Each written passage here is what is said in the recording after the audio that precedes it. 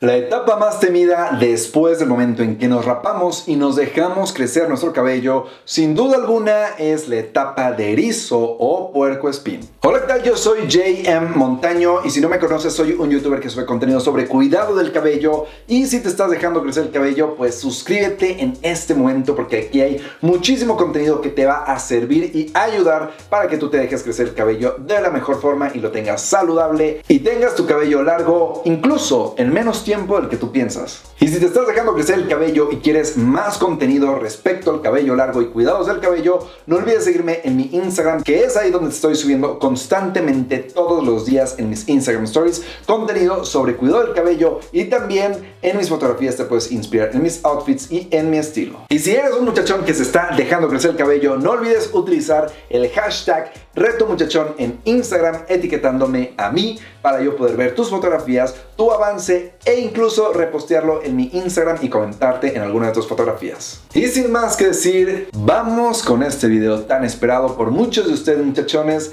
sobre la etapa de puerco espín o de erizo. La etapa de puerco espín se presenta aproximadamente a el mes y medio, un mes, una semana desde que iniciaste a dejar crecer tu cabello. Pero comienzas a ver sus inicios sin duda alguna a el final del primer mes e iniciando el segundo mes. La etapa porco spin es esta etapa donde tu cabello no tiene forma alguna y simplemente son cabellos parados para todas direcciones, para todas partes y no hay un estilo ni un corte en específico ni tampoco hay nada que puedas hacer. Da un look más o menos como si te hubieras electrocutado y tu cabello se hubiera electrificado por completo. Normalmente esta etapa se le llama de porco spin o de erizo porque tu cabello da la sensación, da la imagen como que tu cabello o tus pelos son las púas del erizo o del porco espín. En esta etapa quieres tirarlo todo a la basura y hacerte un corte de cabello normal. Y te vas a sentir desesperado o ya sientes esa desesperación porque parece que lleva semanas y semanas y semanas y semanas estancado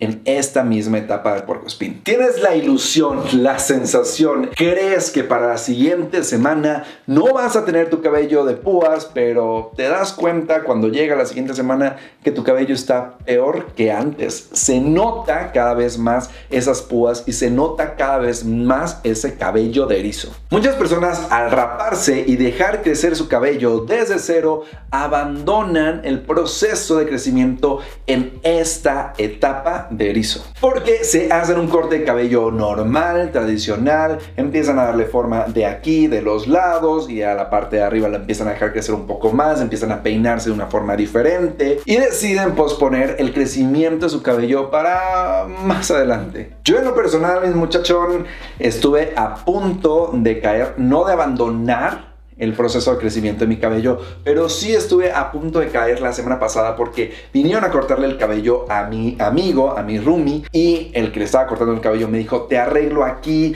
te hago un recorte, nada más como para que tu cabello no se vea tan electrificado de los lados, que no esté tan parado, te ayudo, que no sé qué, y estaba tratando de convencerme y decirme el estilo que iba a llevar mi cabello, que casi casi muchachón lo logra, pero la verdad que me acordé de ti, me acordé de ustedes muchachones, de todos los que se están inspirando también en dejarse el cabello largo y que se están ayudando de lo que yo les estoy comentando y se me hacía muy hipócrita y muy falso que yo llegara a cortarme el cabello y que los abandonara a ustedes en este proceso. Entonces desistí, le dije que no, muchas gracias y le dije guarda silencio porque estoy llevando un reto muchachón y no voy a cortarme el cabello por los próximos cinco meses aproximadamente. Entonces no me trates de convencer y pues no lo logró. Y véanme, ahorita mi cabello ya prácticamente está superando la etapa de erizo. Y es que lo que esta persona que quería cortarme el cabello quería hacer con mi cabello era prácticamente hacer un corte de cabello tradicional,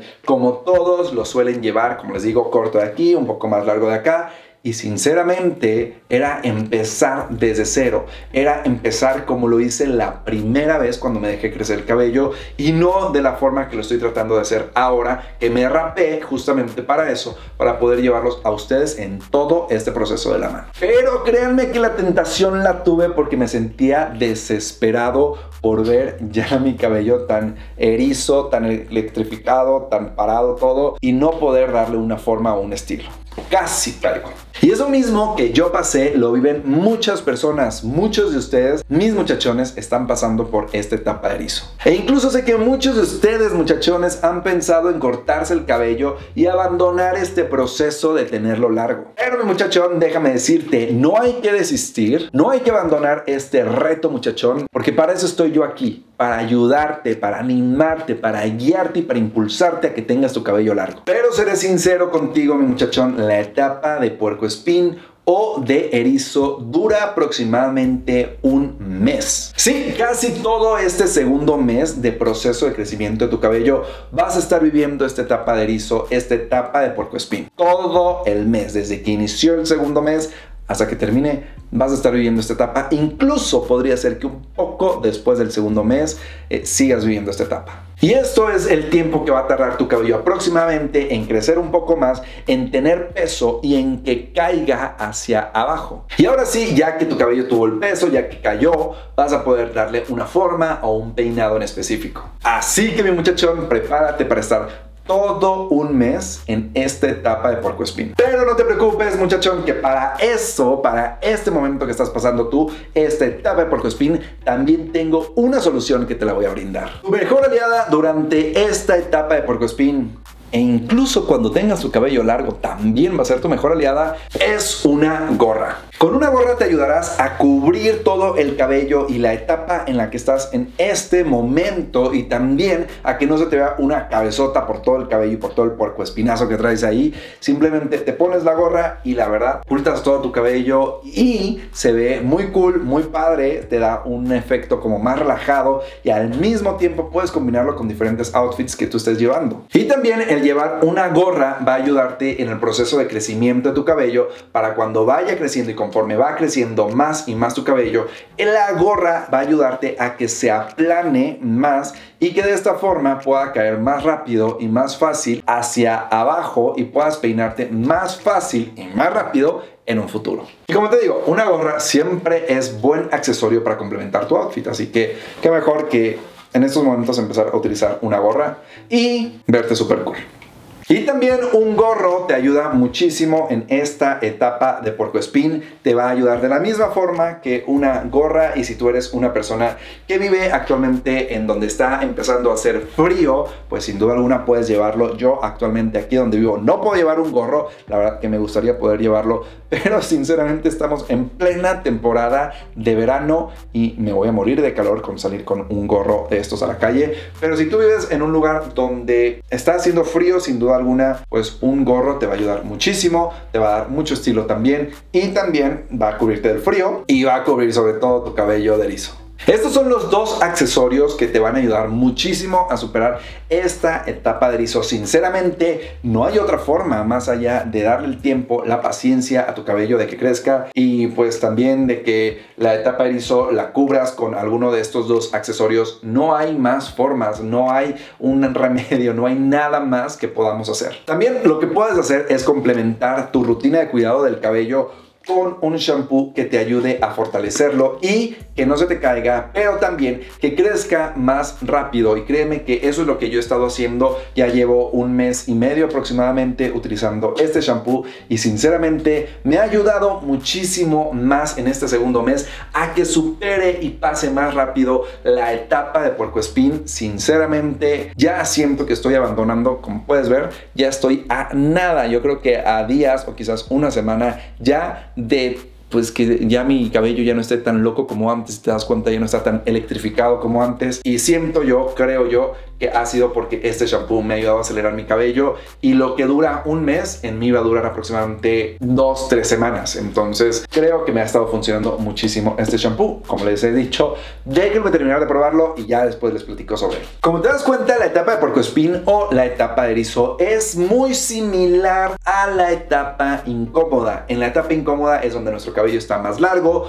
donde no tiene forma, donde no sabemos ni qué hacer ni cómo acomodarlo porque no está lo suficientemente largo ni lo suficientemente corto como para peinarlo o para llevar algún estilo ni agarrado, ni peinado, ni suelto, ni nada. Eso es la etapa incómoda. Esta etapa erizo es peor y mucho más peligrosa que la etapa incómoda. Ya como te dije, en la etapa incómoda puedes peinar tu cabello de alguna forma, por lo menos tienes cabello. Pero en la etapa de puercoespín o de erizo, tu cabello no tiene forma, tu cabeza no tiene forma, Incluso no tienes ni cabello para poder peinarte. Así que esta etapa de puercoespín solamente es cuestión de ocultar e ignorar esta etapa. Así que si logras superar la etapa de erizo, mi muchachón, la etapa incómoda será nada.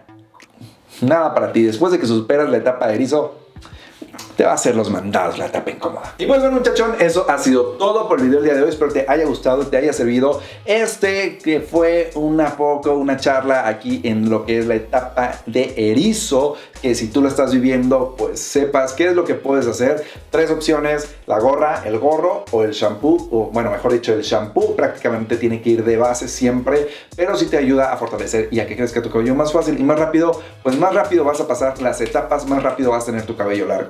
De sin duda alguna es de las más difíciles, sino que la más difícil de todo este proceso de dejarnos crecer nuestro cabello, porque sin duda alguna es la etapa que va a poner a prueba tu paciencia, para saber si vas a poder tener y lograr tener tu cabello largo en algún futuro. Muchos en esta etapa, como te dije, desisten y abandonan o deciden hacerse un corte de cabello normal, siendo que pierden el corte al cortar su cabello pierden el tiempo que ya llevan largo y pues muchas veces se lo cortan eh, al mes y medio y solamente les faltan dos semanas más para pasar la etapa de erizo y se lo cortan y después es volver a empezar desde cero. Así que mi muchachón, no desistas, sigue en este reto muchachón, en este proceso de tener nuestro cabello largo y aguanta unas cuantas semanas más. Porque como te digo, lo más seguro es que para cuando cumplas ya el tercer mes, cuando vayas para el tercer mes iniciándolo, la etapa erizo ya haya terminado o estés en las últimas etapas de la etapa erizo, por lo que el segundo mes de crecimiento será una meta a superar.